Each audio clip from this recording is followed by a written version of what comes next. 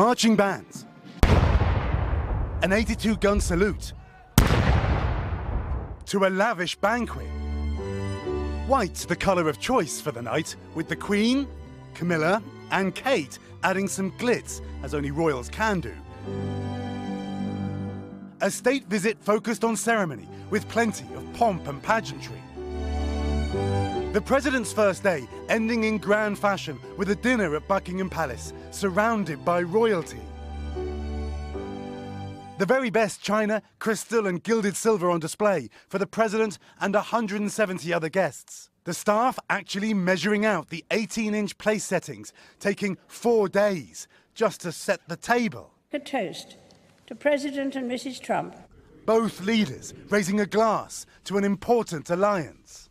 I'm confident that our common values and shared interests will continue to unite us.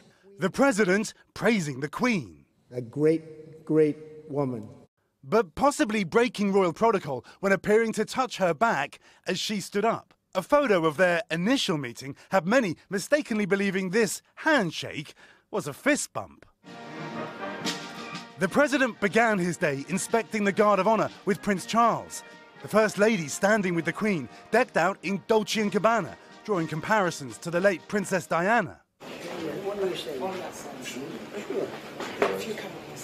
The Duchess of Cornwall getting some attention of her own for a quick wink before having tea with the Trumps.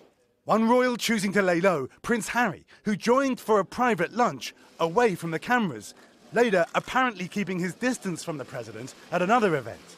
His wife, Meghan, who the president called nasty, was not in attendance. Queen Elizabeth has met with 12 US presidents over the years. She, more than anybody, understands the great significance, the, sim- the symbolic importance of the, uh, the state visit. But President Trump is only the third to be honored with a state visit.